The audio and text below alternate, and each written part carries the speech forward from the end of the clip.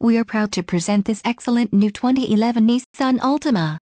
This Altima has a four-cylinder engine and a continuously variable transmission.